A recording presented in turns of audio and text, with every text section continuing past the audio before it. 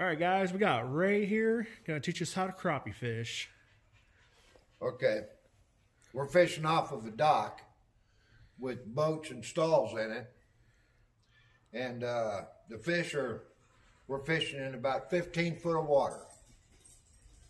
And the fish, there's, there's brush down on the bottom of it.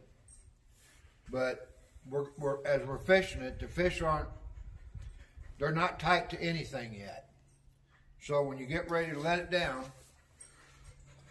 you're going to let it down a few feet, about four or five foot, and you're going to stop with your finger. And you're going to fish it there for a minute. And then you're going to let it go on down, and you're going to stop with your finger again.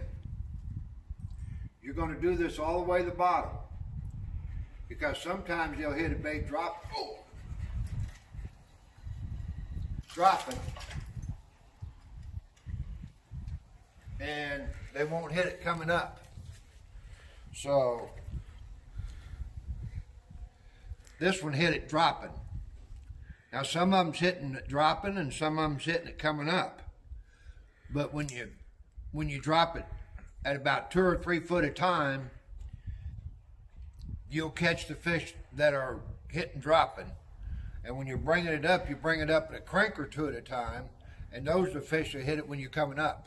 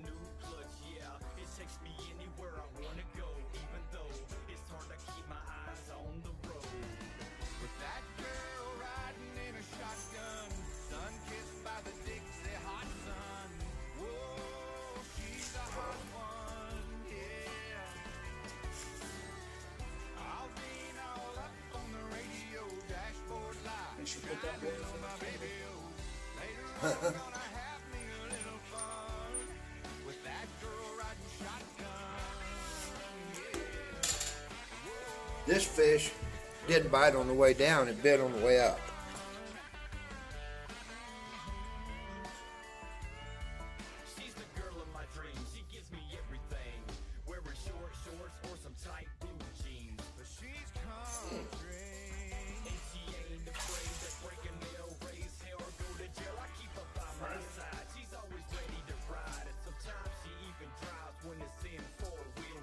Here's another fish that didn't want it going down but wanted it coming up.